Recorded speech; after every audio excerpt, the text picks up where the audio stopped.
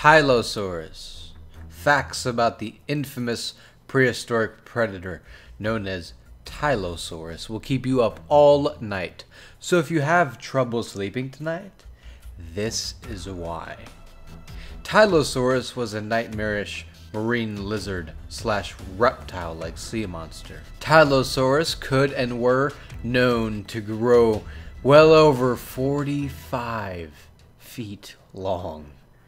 Think about standing in front of one of these gigantic monsters, and you will not be able to sleep at night. The original name or label for Tylosaurus was Macrosaurus proriger, after a fierce verbal rivalry between the paleontologists on the name of the sea predator, they finally agreed to Tylosaurus. The first specimen of a skull and vertebrae was first discovered in the United States of America, specifically Kansas in 1868, which would then be known as the infamous Tylosaurus. The sea creature could shine through your worst nightmares and conjure up a permanent illumination of horrifying visual imagery. Tylosaurus was alive during the late Cretaceous, nearly 85 million years ago in the 21st century.